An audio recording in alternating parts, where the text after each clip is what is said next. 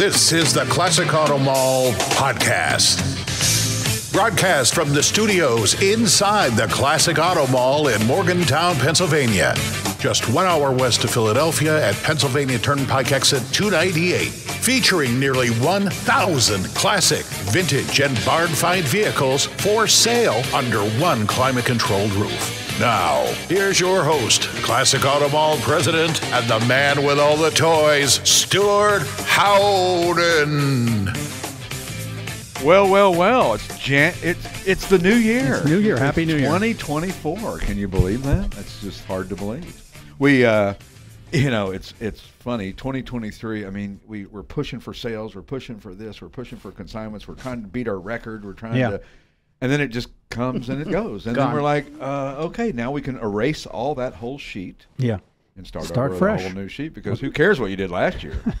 we're worried about this year. Start all over again. start all over again. It was a monumental year, Mm-hmm. uh, and the reason I know that is because I keep my little cheat sheet in my pocket every day. yes. And uh, this little cheat sheet tells me how many cars we sold and how many we consigned, and 1,219 cars we consigned this year. Last year, 1,216. Wow.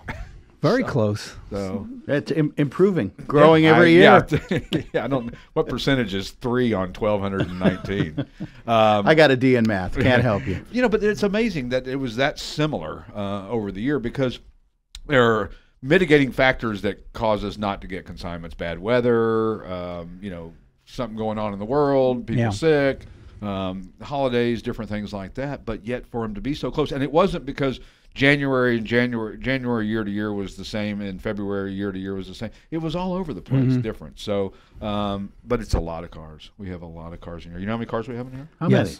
How many, A Stewart? thousand ninety-three. Wow. Wow. That was that was about what it was last week, I think. Oh, okay, I mean, for- come- they come and go. being a bummer, but Well, I was waiting for that 1100. 1100. we did 11 hit 1100, didn't we? I don't know. I think it was couple of weeks ago. 1093. I think a couple of weeks ago. we All Well, I know, lot- I know so- the number went down this morning because about a 48 Chevy just pulled out of here. Yeah, it's- we sold a 48 Chevy, so that would be one less here. And, and then we've had a couple go out for repairs, things that happen just because of time and age. Some of these old cars just all of a sudden decide to, you know, it's there's no rhyme or reason when something fails on an old car. That's the problem is that you never Mm-hmm. know. The car can be perfect today, and tomorrow you get in it and there's something wrong that wasn't wrong yesterday. And Oh. you think, well, what the heck happened? It's true. Christmas Eve, took my car for a ride. C- couldn't get it out of first. yeah, I mean, It's, uh, I don't know. To be clear, we don't do repairs here at Classic Auto Mall. I Correct. ask that Yeah. a lot. And Yeah. hey, do you have parts for 69 Chevy? No, we No, don't. we We, don't. don't. do parts. we don't do parts and we don't uh, we we don't do repairs here because we're not set up for that um, we i mean our guys know enough about cars to you know replace batteries uh, you know the obvious stuff uh, blinker fluid uh, things like that uh, but but anything beyond that i mean it's it, and the problem is is that you run into so many liability issues because these are not our cars if we owned the vehicles then Right. more than likely we would have a repair facility on on site. But when you don't own them, uh, it just makes things better for everybody. And let somebody who's an expert at fixing, you know, we're experts at selling your car. Mm-hmm. Let somebody who's an expert fixing your car do the fixing, and we can recommend people. Sure. You know, it's not that we don't know people around here that do that. Yep. Um, so, but uh, yeah, what an amazing year, and uh, the weather has held up nicely. Although uh, there's snow in the forecast. Of course, we do live in Pennsylvania. So. That's right. We, we're hoping for some snow. We like driving in snow. well, some of us do. I like driving in snow, and you like driving in snow. But Yeah. I don't know that everybody likes driving. We got big trucks. Yeah, we got big trucks coming in to take us to the Philly Auto Show. Okay. Uh, next week, uh, if you're listening to this on Saturday, uh, uh, January the Six- sixth, sixth. Mm-hmm. um, the Philly Auto Show starts next Friday. Uh, the 12th is actually the black time. The 13th, I think, it opens to for business. But 6 ABC News Mm-hmm. was here and did a whole segment on us. It's going to air on Saturday night, uh, January the 13th. Check your local listings. That's like awesome. they say. And it'll probably be on their website too, on the 6ABC app, so you'll be able to. That's it's right. the the auto show preview. Yeah, it's the preview, and the reason they do it the day, the evening, you know, it's already been open for one full day, uh, and and the reason they do that is they like to have some footage of the actual that, that this year event, not just use last year's footage. But I can tell you that we were on the the uh, uh, six ABC preview show or show, and it was amazing what it did for us. The first year we opened in 2018, and then we were on again in 2022 and then again, of course, this year. So uh, they filmed probably for three hours. I was I was worn out, walking and talking. Which you know, I, I asked him. I said, you know, I, I'm sure you probably just didn't get enough footage because I, you know, was so shy. right, right. They're like, oh, okay. yeah, please shut up. Three hours. Of, Or, or as my wife says, can you please just stop talking? It, it's an editor's nightmare. They're going to get Yeah, three I was going to say footage. that poor editor. Yeah. Uh, Did he say that three or four different times? The same exact thing? Just get a shot of the car. Just show the car, you know, just ignore him. yeah, it'll, it'll, and they'll boil it down to uh, like two minutes. I was on camera for uh, basically three full days doing an auction one time, and we. Uh, I, I ended up. I think I was ten seconds. I was on the uh, uh, actually on the show, and, and it was amazing that it was uh, that much footage that they shot, yet they only used ten seconds of it, which proves to you how much footage that they shoot, or it proves to you that they just didn't want me on camera. Oh, can't, that's can't be the, the reason. But hence the term the cutting room floor. When they do the movies, how much of actual film, you know, video is like, okay, well, you just, we don't use it. But well, we talked film, about director's cut the other day, where they have stuff that they use that they may not have used, uh, you know, for for the actual movie because it was either too long or wasn't relevant, or but there were some great scenes in certain movies that they cut out, and probably in hindsight they probably wouldn't have. Um, but uh, well, that's the creative process. Yes, it is. And, you know, I think that, uh, listen, I leave it up to the experts. You know, if they think something's good and needs to stay in, then I'm sure they'll do that. And I'm sure they could, you know, it's funny. You can make a person just to be about anything you want them to be if you film them all day long for three days. Mm-hmm. You can make him the nicest guy in the world, or you can probably make him the biggest, you know what, Sure. too. Know, Ozzy, Ozzy Osbourne said that they that was reality. He said some of the other reality shows you see are contr- contrived. He said, Sure. in fact, they decided they didn't want to do it anymore when the director started. Why don't you do this, Right. Ozzy? No, no, this is supposed to be reality. Yeah. Ozzy said he gave up uh, hallucinogenics when he had an hour long conversation with a horse. well, actually, he said, oh, I just read that the other day. It's funny. I mean, you know, you think about a guy like Ozzy, who, eh, like Keith Richards and Mick Jagger and those guys. How have they survived all these Right. years of things that they did and and the lifestyle that they lived? I mean, they didn't eat worth a damn. They weren't healthy. They did drugs all the time. They drank all the time. They probably slept all day. Yeah. And how they survived? Maybe the rock and roll running around on the stage kept them, you know, Sure. vibrant enough. I mean, fit. Yeah, I guess. Well, the energy from the audience too. It's got to be. I think it- eh, yeah. It's just got to be incredible. I feel that here a little bit. The you? energy Do you? from the people watching it? watching me, you know, while I'm filming Looking for into Six glass. ABC, yeah, or That's even right. here, yeah, at the podcast. So, but uh, anyway, uh, thanks to the Pat Travers Band, our music for the uh, show, and um, man, oh man, where did we sell cars the last two weeks? Because we weren't here last week, right? What were we? Were we here last no, week? we No. weren't. We were No. Oh, we- right. That's another skipped week. That's right. Yeah. Another, you no- say it. Another best of. uh-huh, best of week. Yeah. Another skipped week. Doesn't affect your pay. Don't worry. All right. All right. Uh, so anyway, the last two weeks. That's good enough. We, we've only we've only sold thirty cars. So what Oh a- what a darn it! What a Oh, slow gosh. week. Yeah, Fifteen. Two weeks, thirty cars. What are we going to do? I tell you what. Walmart is going to be nervous. Uh, Cedarville, New Jersey, Williamsport, Pennsylvania, Jackson, New Jersey, Tacoma, Washington, Newark, Delaware, Redondo Beach, California, Lincoln University, Pennsylvania. That's weird. Lexington Park, Maryland, Jacksonville, Florida, Doylestown, Pennsylvania, Newtown, Pennsylvania, Fallbrook, California, Newmanstown, Pennsylvania, Indio, California, Deerfield Beach, Florida, Chattanooga, Tennessee, Indianola, Pennsylvania, Ridgefield, Connecticut, Newcastle, Pennsylvania, Point Pleasant, New Jersey, Ham-sur-Heure-Nalinnes, Belgium, Wow. uh, Reading, Pennsylvania, Kokomo, Indiana, Cicero, Illinois, Chestertown, Maryland, Philadelphia, Pennsylvania, Kansas City, Missouri, Griffith, Indiana, Lumberton, New Jersey, and Las Vegas, Nevada. No kidding. So that was uh, quite a few different places we sold those, right? Yeah. Sorry, Delaware. It's Newark. Newark. Twelve. Sorry. About twelve states in a, a foreign country. In a foreign country? I may have missed some because I pulled out my uh, my uh, air thing instead of my pen. Your air check. Isn't it funny how amazing how technology has advanced so far in everything automotive, except for the air check Yeah, for, the, right. for the tire. They're still filled the same way. Now you can check them, you know, based on the computer on your screen on your dash. It'll tell you if you're low air pressure or the sensor or whatever.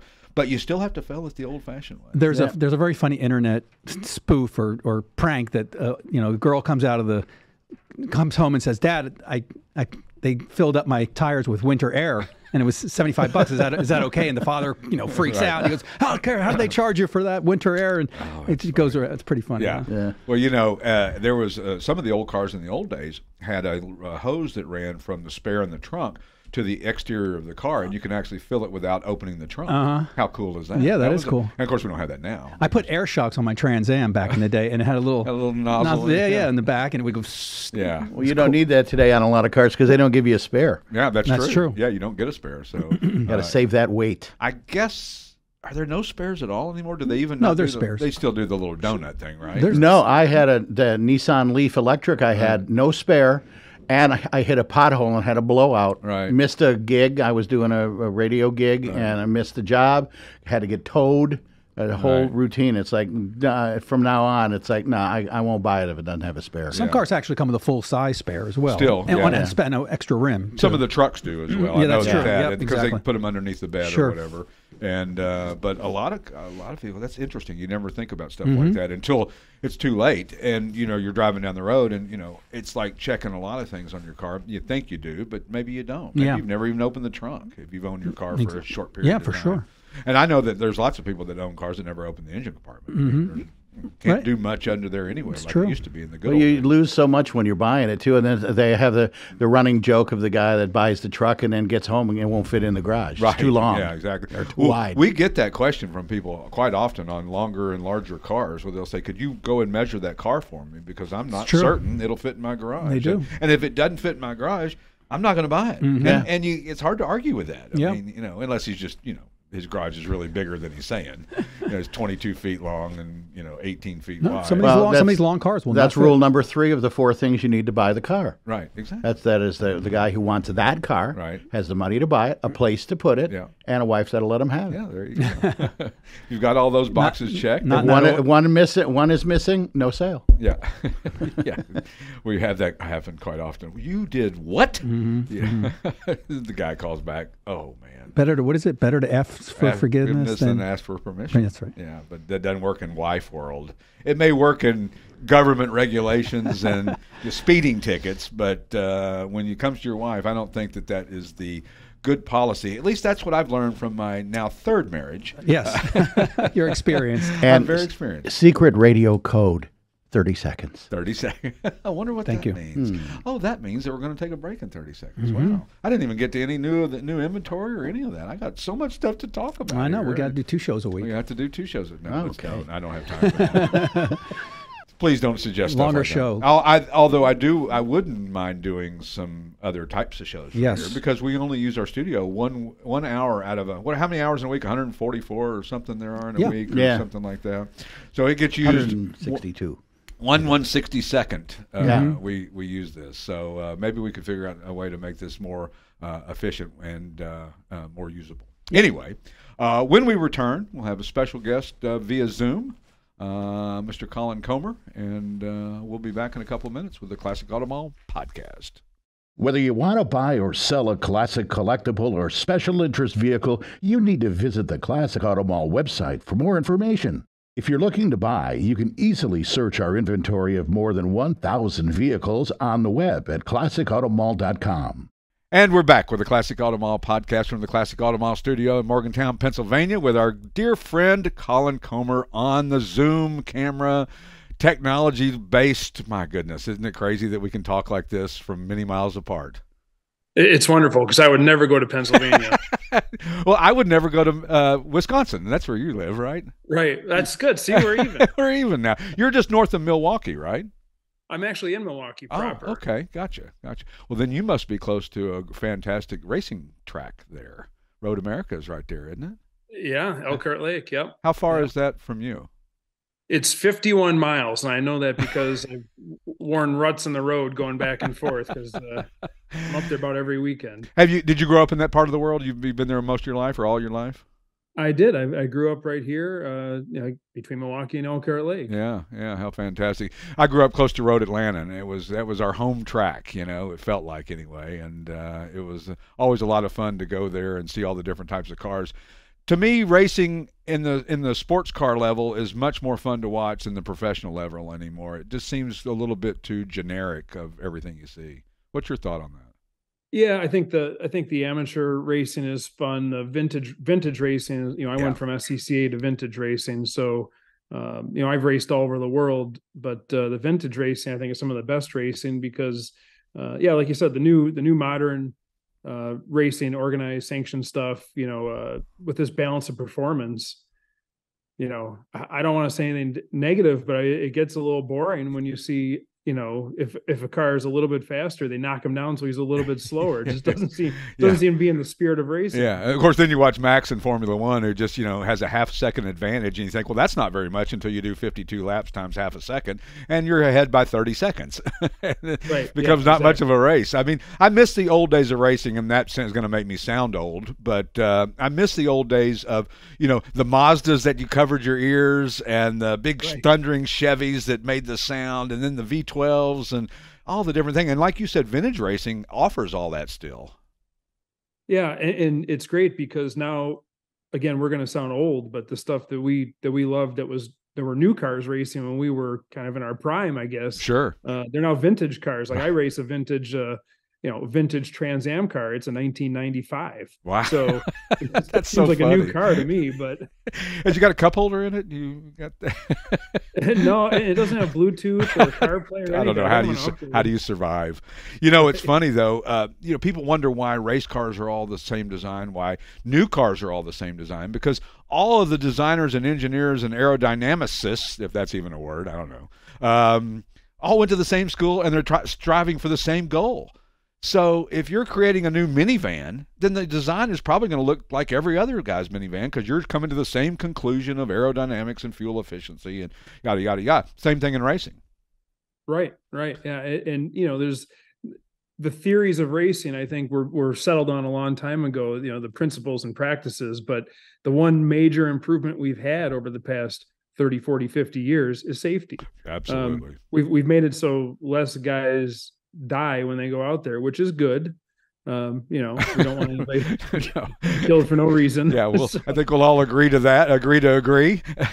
yes right so so there there has been some benefit but really nothing's gotten faster since the No. 1960s you know exactly. Think about uh, Talladega, the speed record that uh, they set. What is that? Is it a GTP car? They set that Corvette at Talladega, 240 miles an hour or something back in the day. I hate when I bring up numbers that I have no idea what they are, and then I'm stuck right as- well, and still talking about it. So, but you know, I mean, they toned those cars way down. The wing supercars from the day. I I remember seeing a meme on Facebook where it had a Bugatti Veyron and a and a, a Plymouth Superbird, and the Veyron said, "I can go 200 miles an hour," and the Plymouth Superbird says, "That's cute." You know, Yeah. 1969 versus 2027. Have you driven a Veyron, by the way? i have i have Wow. Yeah, How I- was I- that? um it was all right i like old cars you could tell we're jaded, but yeah, it was all right. It was, you know, it was. you know I, i've i've i've driven modern supercars i've had modern supercars and at the end of the day i kind of like stepping back in time When Yeah. i get in the car you know i like to smell some raw fuel and Mhm. you know have loud pipes and you know have to work at it i don't i don't necessarily need power steering or power brakes you know i you know give me a 65 gt350 or a cobra for Yeah. a drive or a ferrari dino or any of that stuff Yeah, it you it know. makes you know it's like knowing the lyrics to a hard rock song. Sometimes they're hard to pick out, and when you know them, you're like in the inside club. It's the same kind of way. And like I'll never forget Lee Cross when he bought his new Ford GT, and he came down here to show it to me here. He's a Pennsylvanian, by the way. You probably know Lee. I Um, do. Yeah, uh, probably did the GT 350 tour. I'm guessing. Uh, Yes. But anyway, Lee brought his brand new Ford GT down here a couple, three or four years ago, and uh, he, I said, you know, thank you so much for bringing this down for me to see it. And he said, see it, you're going to drive it. And I drove it, and he said to me, he turned to me while we were driving and said, "Is you know, is that all you're going to do?" I mean, I was so nervous driving Yeah. this thing because when it's not your vehicle, it's hard to really go ten tenths or nine tenths or eight tenths or whatever it is. Uh, you know, people used to say, "Oh, how cool it is! You work for a guy and he's got all these cars." Yeah, but if I wreck it, I got to move to like Slovenia or something. yeah yeah the new car the new cars are so capable and the limits are so high and Yeah. it's crazy for me you know to think that and probably you as well that you know anybody can with a good credit score can walk into a showroom today and, and get 700 horsepower 900 Yeah. horsepower 1000 horsepower you know without any training you know yeah, I, remember going, you know, learning how to fly airplanes. Like you have to kind of work your way up, Right. and you have to get certified for a high perform. You have to get certified for high performance aircraft. You Sure. get certified for retractable gear. Not in cars. no, You know, you can just- go from your minivan and say, I want a, a Demon, uh, you know, one one seventy, right. You know, whatever. Uh, It's kind of like my marriages. I've learned how to, you know, I'm going up the ladder with that. So, but you know what's interesting? I, we've talked people out of buying cars for their 16 year old kids that were a Demon or a Hellcat or a, you know, a Corvette Z06 or whatever because the kid has no driving experience whatsoever. And I don't feel comfortable selling, and, and it should be that way. I don't need more government regulations in my life, but there are certain things that you need to know how to do. Right. Because you don't again, you don't mm-hmm. want anybody to get hurt. And Right. for and for you know, I've sold high performance cars for years and you know, you always kind of ask somebody like, why do you want this? Right. And what are you going to do with it? And if the answers aren't right, then you try to steer them to something that might be better for their use profile. Yeah. Um, but you certainly don't want anybody getting hurt. And for years, my shop did, uh, you know, race car support. We did race car prep, and it concerned me as gentlemen racers became more and more prevalent. You know, we had people racing with us that never raced before, Sure. and they could afford to buy a Can Am car or a Trans Am car. And I was always nervous setting them out on the track, you know, because yeah, everybody knows in theory how to drive a car, hmm but you don't know the quick decision making needed to save it before it hurts you. Right. And we had one guy put a car end over end over end. Mm. When I was watching, I thought, I'm out of the race support business as of today. Right this moment. Yeah. And, and thankfully he was okay. Right. And I was out of the race support business because I didn't Yeah. it's like handing somebody a gun and saying, Yeah, have fun. Yeah, have fun. Yeah, don't worry about how all the mechanics of all that stuff. Well, I can tell you that you know you you look at a lot of these wealthy guys who came into wealth very early in their life, and maybe before that they had a little Econobox car, and all of a sudden they build a dot com company and get a check for a billion dollars, and what do they go do? They go buy you know a new Ferrari. Well, they have no idea how to drive it. Right. No earthly. I mean, I grew up with 180 horsepower in my Trans Am. And I thought I was king of the hill. I can't imagine if I had even 500 horsepower back then with the rudimentary brakes and steering and all the things we had. We wouldn't be here. No, we would not be here. And, you know, that's one of those things that uh, we'll have a, a debate later on of whether we should be here. Um, I, I understand that not only are you an author and a Concours judge, but you're a collector as well too, and a dealer to some degree. We were laughing off air that uh, you you your claim to fame is you want to be the smallest collector car dealer in the world. Right, right. I like that. Which, which, which is 180 out from you, but that's you know that's okay. there's a place for Walmart and there's a place for Saks Fifth Avenue and everything Right. in between. Yeah. Do you? I'm, uh, a, I'm, a, I'm, a, rec- I'm a recovering used car dealer. That's why I want to be small. Sure. But it's nice to know what you know, and it's nice to know your inventory, and it's nice to thoroughly know your inventory. And when you don't, like I have guys who'll ask me about friends of mine who'll come here. They'll ask me about a car, and I don't know. I don't. I, I don't know, and I feel terrible. It's like I should know this, but it's hard to know 1,100 cars.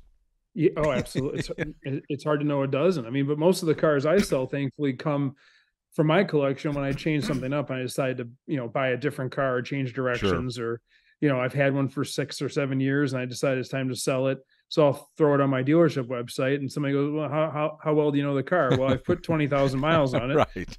Pretty familiar with it, you know, so, um, you know, that, it, that plays into the being small. Well, and and we get all the time. We'll get people who come and look at a car, and they're not sure what they want, and you have to guide them in the right direction, as we talked about, and tell them the reasons that this is a good car and this isn't a good car. But my best compliment, and I'm sure the same for you, is the compliment we look for from a long distance buyer is the car was just a little bit nicer than you described.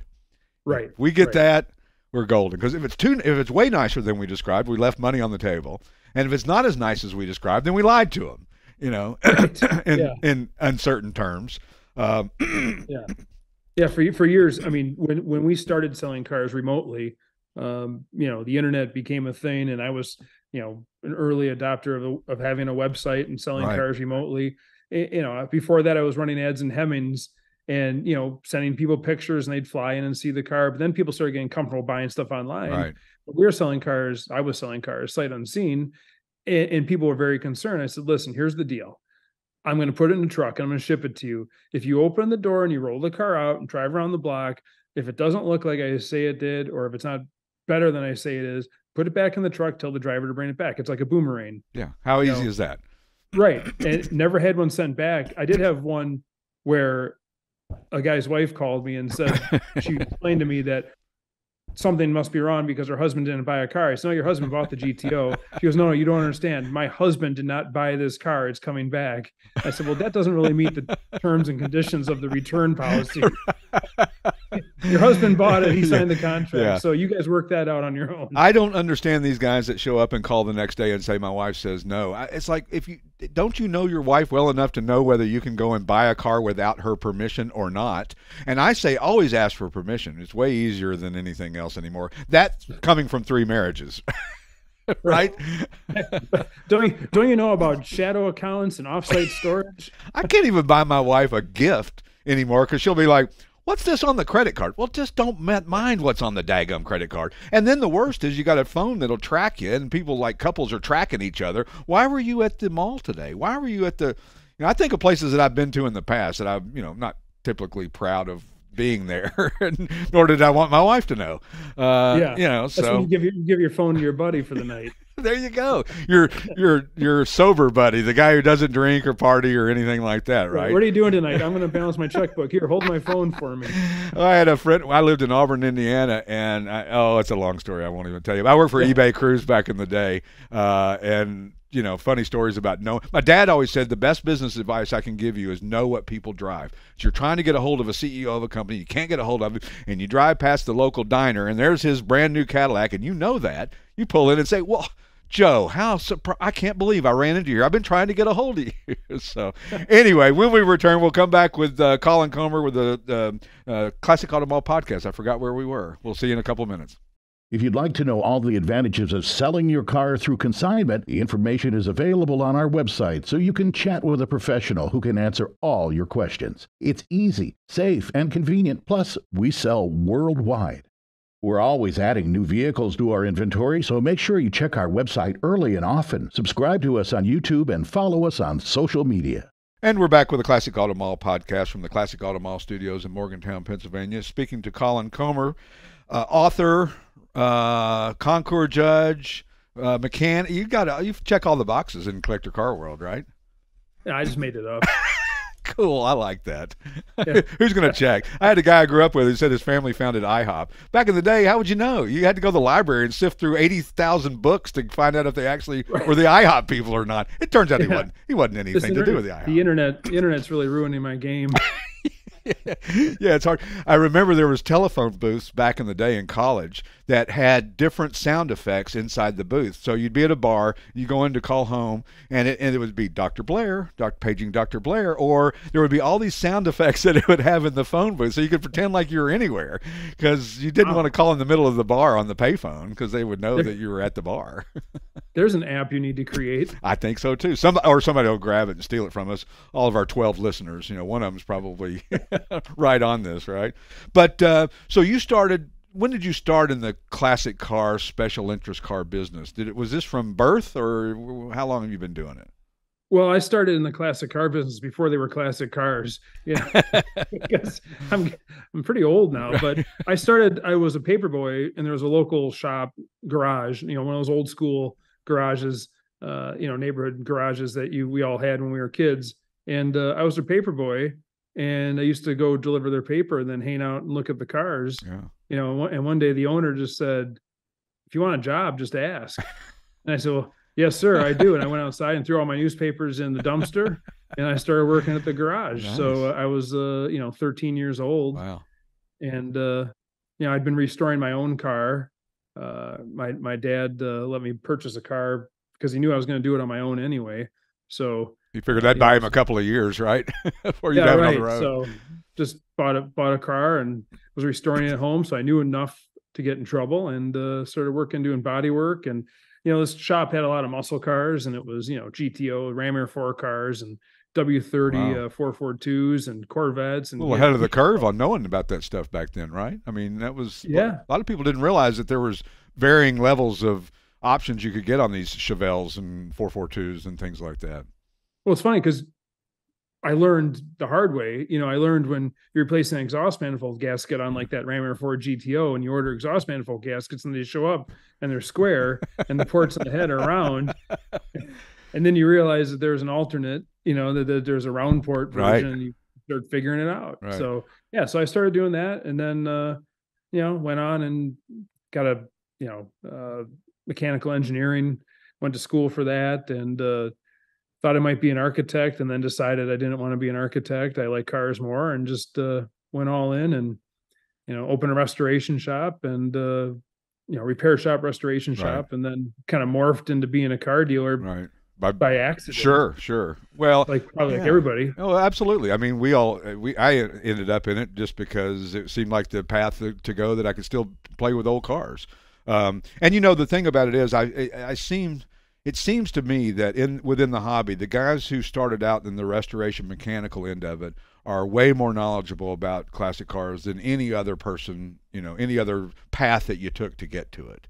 Um, I my thing was eBay Kruse back in the day. I went to work for them in the early 2000s and said, like you had a little epiphany with the online internet thing and said, "Whoa, wait a minute, this could be cool.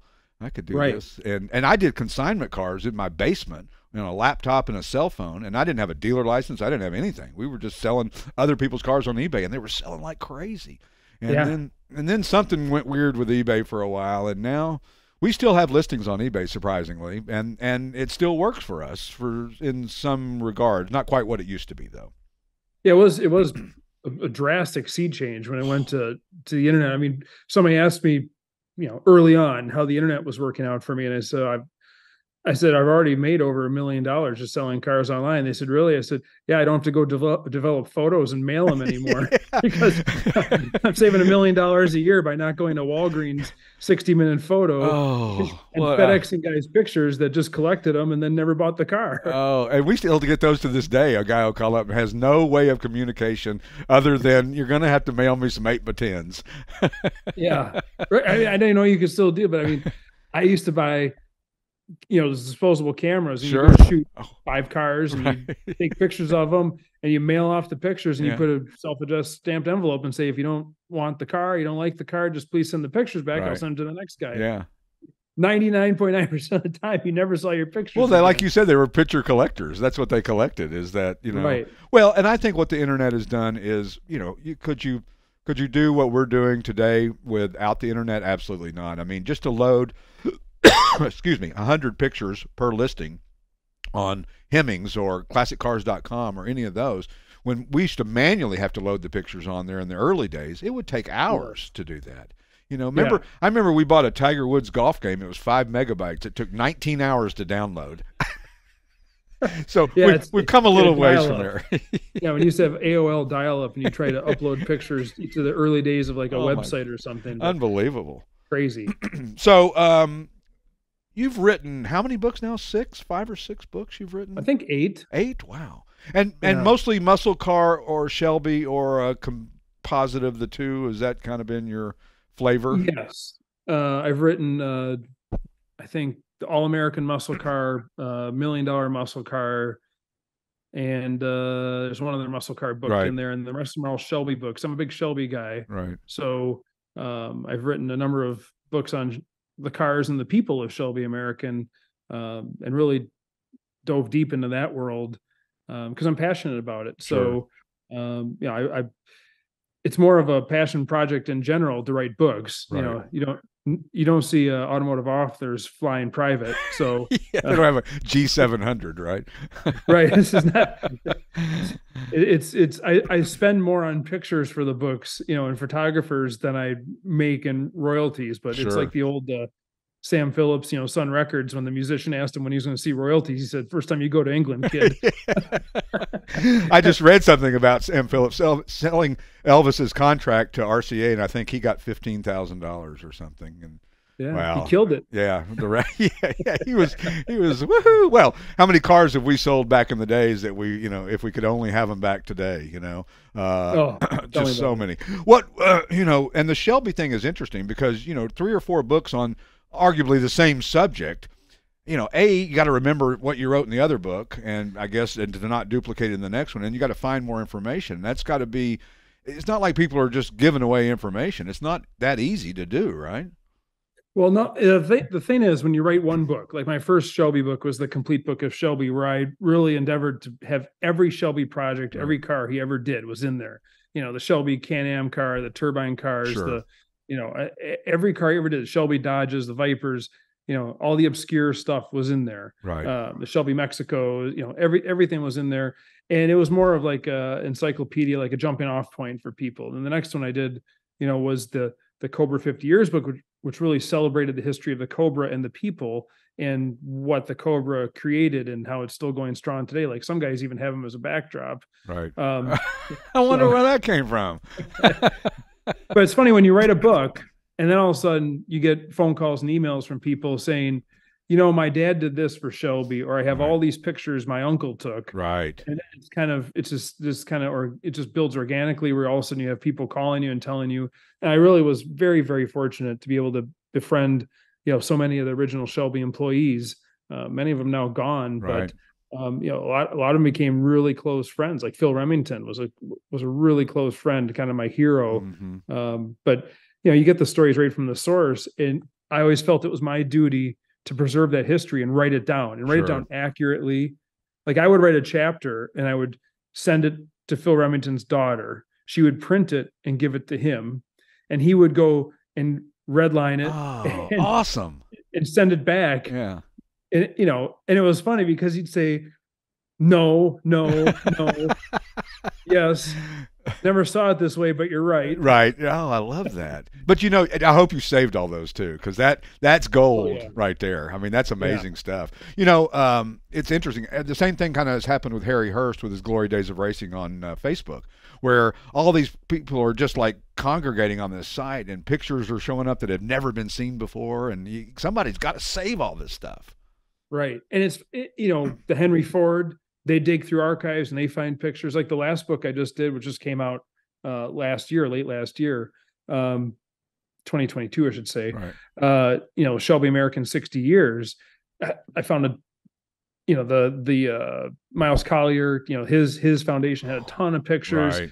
you know, the Henry Ford, you know, I've gotten really close with some of those guys and they're like, you know, we have some new pictures that have come up when we were digging through Bronco stuff, Right. you know, with the new Bronco coming out. Oh, it's yeah. amazing how stuff just finds its way to the surface. Sure. And if you never saw before, there's a local photographer here in Milwaukee who's in, in his mid 80s, I think. And, you know, he said, Oh, you're doing a book on Cobras. I took a bunch of pictures at Road America. and, and he has these amazing photos of the Shelby team rolling in 1963 Oh. Road America 500. Like nobody's ever seen these. right. Right. They gotta, I gotta put them in in a book. Yeah. So you have there's another book. So you got to do another book, Right. right? You can't. You have no I'm done. choice at this I'm, point. I'm done. You're not done. I got to see the Simeone Library, which is amazing down here close to us in Philly. Have you Yes. you've been to the Simeone? I'm certain Yes. of. It's an amazing place. It really is. And to see the the the back workings of where Dr. Fred worked and did his research and marked and checked and put tabs here and there, and it was oh, it was like being in. I don't know Nirvana. I don't know how to describe it. It was just it was as cool being in there as it was being in the museum part of the the, the building. Right. Right. Yeah. Yeah. And, and and he was a true enthusiast. He he understood how cars worked and what made cars important. Mhm. Uh, you know, just like Miles Collier. You know, the, these guys were there to preserve history, and they're there, you know, making sure it it it lives and it stays, you know, uh, not messed with. You know, Yeah. you don't want this this history being changed or erased. With right. thank thank God we're out of the restore everything phase. Exactly. Me, I'm a, I'm a hundred percent behind you on that. I, I think that there are so many cars need to be. I love to see the Cobra Daytona in as race condition. That's brilliant. I mean, who, Yes. you know, most rich guys would just say, make it perfect. I want this. I want that. You know, that's resto mods, which is a whole nother subject of, you know, we're I, anyway. Yeah. they're part of the hobby, whether we like it or not. You know, Right, And, and it's and it's a shame on some cars and other cars that didn't. I mean, I have a '68 Camaro convertible here on consignment with a six-speed, uh, I mean, a six-cylinder and a two-speed Power Glide. You know, and that's a perfect candidate for somebody to say, "We're gonna we're gonna change this. We're gonna make this a resto mod." It's also a perfect candidate for somebody to buy for their 16 year old kid, Exactly. father son project, father daughter project. Mhm. You know, nice, safe, dependable. Those things are bulletproof. Oh my God! I mean, somebody could have that car and be the coolest kid in high school to drive something vintage. you know. Yeah, exactly. Are there are there still hidden Cobras and Shelby products that are not found that are sitting in barns, or, and- or even significant ones that are missing and probably out there somewhere? Yeah. Uh, you know, it's funny. It's getting, the numbers are getting smaller, but I've been fortunate enough to find so many you know hidden gems and barn finds. I hate to say barn finds because you're Shelby's in a garage, Right. um, but but they're still out there. And it's amazing. I mean, there you know there's still some original owners. Um, you know, one owner Cobras and stuff like that. They're you know like I said, the numbers are getting really small. sure. uh, but they're still around still out there. And you know, with any car, I mean, you can find you can find anything. Right. Um, it, it and that's that's the thrill. That that's oh for me. Oh, yeah. That's the hunt right there. It's like you find something that hasn't been on the market, hasn't been restored, hasn't been messed with, and it's like, man, that that makes you wake up the next day and try to do it again. Yeah, well, I mean, some of the guys in the hobby are the ones who are, you know, I, I call, you know, the luckiest ones in the hobby because they have made created something that people call them with these cars now. They don't put them out on the market. They call, you know, whoever the collector of the week or year is, and they say, hey. We've got this car. You want it? You interested? You know, and it's click, yes, you know, gone Yeah. in a truck and trailer with cash, and don't hesitate. Listen, if you Right. got if you got time, we'd love to have you on for the third segment. We got plenty more to talk about if you've got a few more minutes. Yeah. All right, we'll, we'll be back with the Classic Auto Mall podcast in just a couple of minutes. If you'd like to know all the advantages of selling your car through consignment, the information is available on the Classic Auto Mall website, or you can chat with a professional who can answer all of your questions. It's easy, safe, and convenient. Plus, we sell worldwide. And we're back with the Classic Auto Mall podcast from the Classic Auto Mall studio in Morgantown, Pennsylvania. Don't forget to visit our website, classicautomall.com. You can sign up for our newsletter and all that fun stuff. We're doing our third segment with uh, our friend Colin Comer and talking about all kinds of fun things in the hobby. What was the car you lusted after when you were a kid? What's the one that you said, God, I got to have that car someday? Oh man, there are so many of them, but really, I mean, I I was a I kind of like Mustangs always, so Right. I always wanted a GT350, a 65 GT350, because a Cobra just seemed completely unattainable. Like Sure. you'd never touch one, and living in the Midwest where it's snow and ice half the year seemed kind of silly to have a car with no top, you know. right. but you were yeah, practical we as a youngster. Yeah. no, I'm just I get cold easily. Heated seats are the most brilliant. That's the one thing I would I wish I could put in all my classics and, and collectible cars is heated seats. It's the greatest invention ever. Yeah. My problem is I like everything. Like Right. I, I would read and study about cars and I, I could find I can find the good in almost any car. Sure, sure. You know, it's funny we talk about that. We when we bring a car in on consignment here, we our goal is to start looking for everything that's wrong with it. And and I've told the guys here recently, I said, why don't we celebrate the good too? You know, let's don't just look for the bad. Because I can't go to Walmart and pull up next to a suburban and go, there's a little rust down there and a little body work down there. It's like, what? Yeah. I don't. It's some stranger's car, and I'm critiquing it. Yeah. I never do that. You will now that I've said it. No, I'm kidding, of course, because after you know, whatever, after 30 some years of restoring cars, Yeah. you know, eh, you get that eye and it just never leaves you alone. You know, it's amazing when people see a car from the 20 footers, as we call them, and they look beautiful. And you hate to be the bearer of bad news. And even people that own cars, and you say, Did you see this mark here? And did you see this? And you see this orange peel? And it's like, No, they never saw it. And then we put it up on the lift, and they go, Oh, I've never seen underneath my car before. And that's not always a good thing, you know. Right. Which is why, you know, again, we were talking earlier about the internet. It's really changed things where the the, you know, minimum viable now to sell a car is 150 pictures, three or four videos. I mean, you really have to show the car. And Sure. people are now accustomed to seeing that on, you know, bring a trailer or whatever. They look underneath the car and they where are the chassis shots. Right, You know, right. and and they want to see it. They want to see the engine number. So it's really great that people are getting educated and being smart consumers and knowing what they're buying because then they can go to guys like us and say, "Hey, I want to see this," and we're we're happy to answer the hard questions. Absolutely. Um, you know, because you got to believe. You know, if you have good product, you, you- please ask away. Let me show you everything. we show everything and we tell everybody that we show the good the bad the ugly so if you don't if you if you got something to hide on your car this is not the place to bring it because we're going to show the rust hole and we're going to show the leak and we're going to show this and we're going to show that we try to show it in its purest sense uh, without any alteration and and we still can miss things you know it's still stuff Right. slip through the cracks and just because a car is going down the road in a cocoon uh, doesn't mean it's not doing this the whole way to California. And when it gets to California, something came loose or something happened. Right. And that's hard to explain to a customer. Yeah, and in in your world, in a consignment world, you know, somebody selling one car, Right.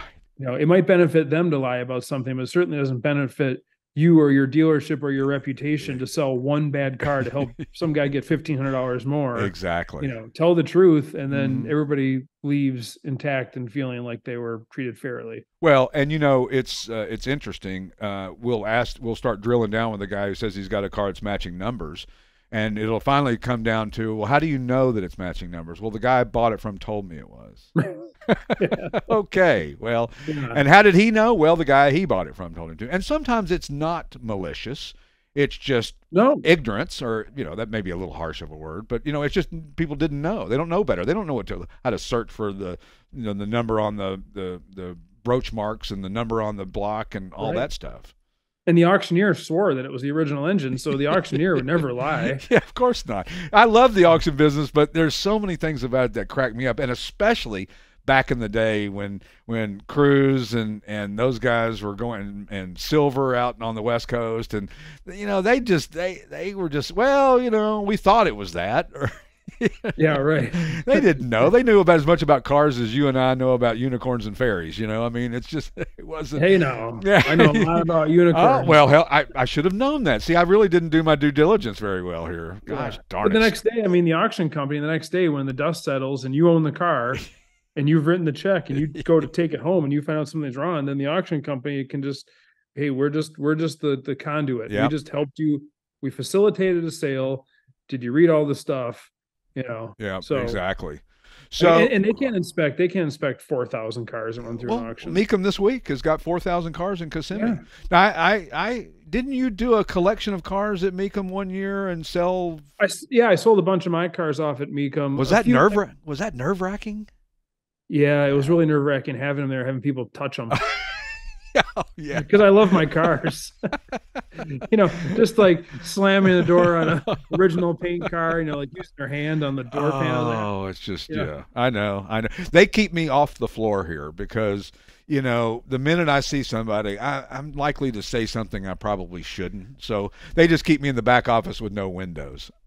Right, right. Just you gotta stay back there and count the money. Got to count the money and do the spreadsheets, you know. So speaking of count the money, have you seen this museum that I keep hearing about out in Oregon? This amazing muscle car collection that's I think called the Brothers Collection or something. Have you seen this? Do you know about this? Yes, I, I, I know you can't say much if you do know. well, no, I mean, I, I've uh, been involved with putting some of the cars in there. Right. Um, they have exceptional, exceptional cars. Um, the guys putting together have exceptional taste and knowledge. Um, so they really, they know they made a list that was like a sharpshooter. I mean, they knew exactly what they wanted. They down to the serial number. Wow. Like, we want this car Right. because you know, and they know their stuff. Like I said, better than almost anybody out there. So um, those are those are diligent and, and educated collectors, and the museum is just mind blowing. Yeah, that's what I understand. Yeah, it's not just it's not about quantity; it's about quality. You know, we we joke. It's quantity too. Well, There's it's that too. Yeah, it's like a It's all buffet. It's like a really Yeah. good buffet. You know, Right. not only was it delicious, I couldn't eat another bite. Yeah. But it, but it, you know, they've done a really good job at telling a story, hmm uh, the genesis of something like Shelby cars. I mean, Right. they have they have all the important ones. Right. So it tells the story. Um, And- it's great. And do they set a limit on what they'll pay for something, or do they just say whatever it takes to get that particular car, I'm going to pay it? I mean, I know that's a little bit broad stroke, but Yeah. Th- I mean, I guess from what I from what I've seen how they operate, they know what stuff is worth and they're not foolish. right. Um, you know, so they're I, I would say that they uh they've made an effort to be fair and get good cars, but they also can realize obviously like any of us, I mean, any collector out there can realize when a seller is unreasonable Right. and out of touch with reality. So you can't really buy a car where the seller is out of reality. Sure, So sure. And do they have three of the four convertible Trans Ams of '69? Is that what I read? Something crazy. yeah, they have a number that? 69 Trans Am convertibles. I don't know how many they have Yeah, it was of them. Yeah, but they have a, a significant. They're they're more than their fair share.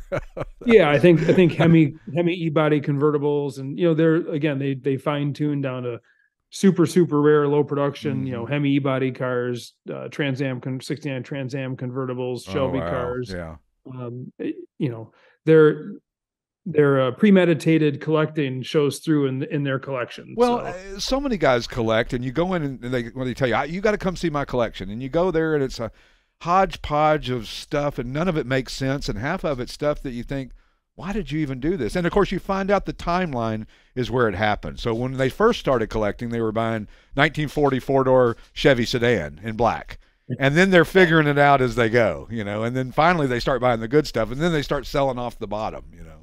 Right. Yep. It's it's and you just fine tune. Sure. I mean, you fine tune all the way through. So uh, I've done the same thing. I'm sure you've done the same thing. You know, you just you buy a car and it's a great one, and then you find one that's that's more great. Yeah, more You greater.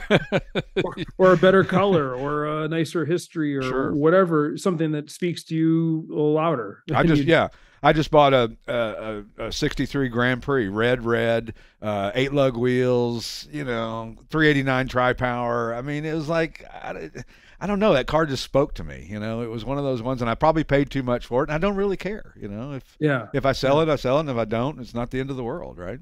what's the what's the joke you just bought too soon Yeah, I didn't buy. I didn't pay too much. I just bought too soon. Although I saw Alex Rosie from uh, uh, Rosie Brothers up in Allentown, Pennsylvania. I don't know if you know them, but he had the greatest line ever, and I wrote it down because I didn't want to forget it, and now I can't find it. He said, "Oh, there is no perfect car, only perfect representation of a car." and I thought that, but the Bruce Meyer quote is the best. yes that's the best one the the only cry ones Yeah, buy the best and only Yeah. cry once.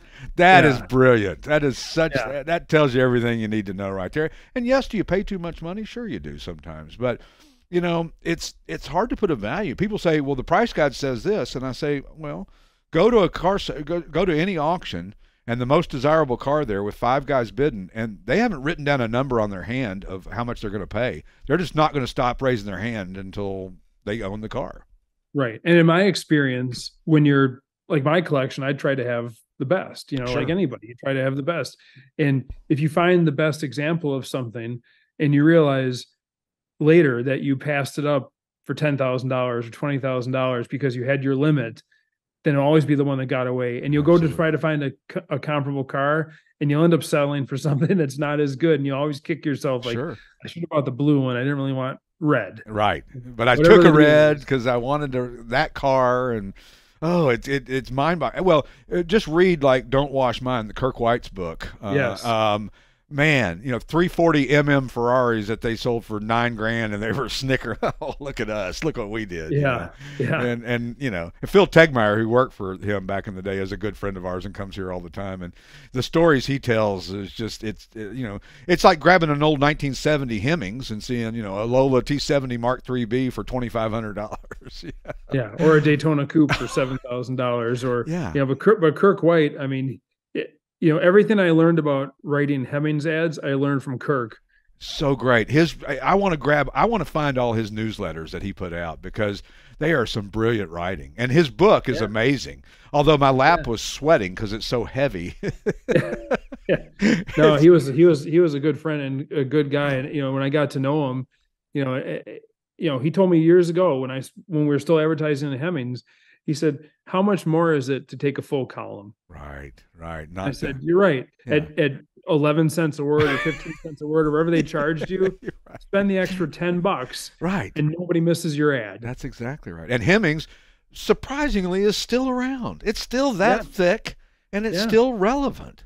That's and for the guys that don't have internet. That's right. And Old Cars Weekly is still around too. So yes, from yeah. from Wisconsin. But you know, my problem is, is there. I have a stack of magazines that's like this tall, and I get you know like Octane and Linkage and all the and, and Sports Car Market, which I love, and I used to be an editor at Sports Car Market, right? Yeah, I wrote I wrote for Sports Car Market for uh, from 2004 through 2018. oh wow, wow, what a For great all the- magazine, for, for Sports Car Market, American Car Collector, uh, Corvette Market, right? you know all the spin-offs too. Sure. So Of course, I, I do. wrote uh, this- hundreds of articles for them. this will make me sound old school when I miss the the hand, the the covers that were paintings that they used to do that were all they were not hand painted but they were uh, painting was the cover and they were brilliant and then of course when they went to more mainstream and wanted to be on newsstands before they were even on newsstands they said no no no you can't you can't have an oil painting cover you have to have a photograph of a car you know so Yeah, yeah, you get. But it, I mean, that that was always the insider. Like that was, eh, if you were in the know, you read SCM. absolutely you know and and keith really did it great because i i was getting when it was the alfa romeo market letter Right. fax it to you Yeah. And it was so it was so different, so great because he would do an auction reporting and he would call cars out for being junk. Exactly. And nobody else was doing that. Right. This is unvarnished. Like, you know, he'd call a car a freight pig. His his term freight pig. I you know, love like- that term. Yeah. So and you know, and it's still to this day. I mean, you just gotta be you call a spade a spade. Absolutely. car's junk, they call it out. Absolutely. Listen, I got in a lot of I got in a lot of trouble doing that too. And I used to do the auction profiles, and I would point out the good and the bad of a car. Eh. And sometimes the guy who bought the car would call me up with Yeah. a problem. I say, "It's it's factual." Yeah, Like, sorry, I what it is. can't. I, I can't. You can't argue with it. Or the auction house when you go bopping in there and they go, "We don't like you anymore." If our job is to educate people on why something sold for a lot or why Mhm. something sold for a you know a little quote unquote, Sure. you know, you have to tell them why because otherwise people will compare it and say, "I have a car just like that." Well, no, let's just make sure Right. this is what this car was. Now examine your car, and then mm-hmm. people learn. It's a teaching moment. Absolutely, and and that's you know you can go to sleep at night if you if you know you told the truth, and you can sleep comfortably and sleep like a baby and all that good stuff. I'm going to try that. Do that. Work on that. Okay. Listen, thanks so much for being on the show, Colin. We really appreciate it. We'll see you, I'm sure, at some event somewhere soon, and uh, we'd love to have you back on again in the future. And we'll continue. I got three more pages of stuff to talk about. So There you go. Anytime. Thanks for having me. thanks a lot. Take care. We'll catch you next time on the Classic Auto Mall podcast. You've been listening to the Classic Auto Mall podcast with your host, Stewart Howden, executive producer Steve Safir, produced and engineered by yours truly, J.R. Russ. Thanks for listening and sharing the Classic Auto Mall podcast. Available on classicautomall.com, YouTube, or wherever you get your podcasts. Music courtesy of the Pat Travers Band, produced by Car Smarts Media, copyright 2023, all rights reserved.